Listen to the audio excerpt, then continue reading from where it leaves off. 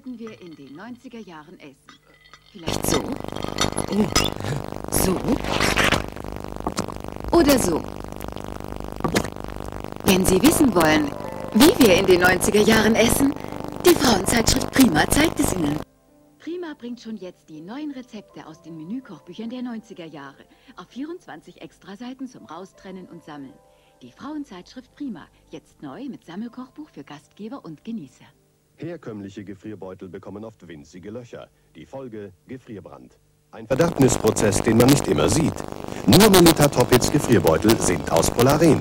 Und Polaren ist doppelt kälteelastisch. Der sichere Schutz vor Gefrierbrand. Melita Toppits. Schmackos, der Augenblick voll Hundeglück. Ist es auch draußen nass, haben wir trotzdem Spaß und gehen dann spazieren. Dass wir zusammen gehören, zeig ich dir gern.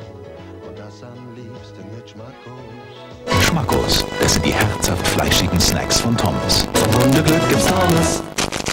Sie waren der russischen Mafia auf den Fersen. Sie besuchten die wildesten Kneipen und die heißesten Adressen in der DDR. Sie verfolgten den Aufstieg des Pop-Engels Lisa Stanfield. Sie fanden heraus, wie sich Sex und Mystik in den 90ern verbinden werden. Und sie packten alle Informationen in ein großes Heft.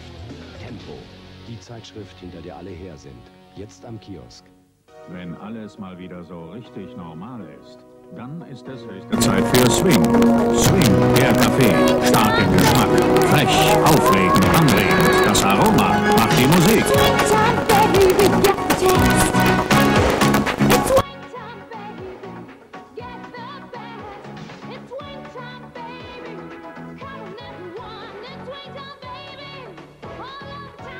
Jakobs Café Swing.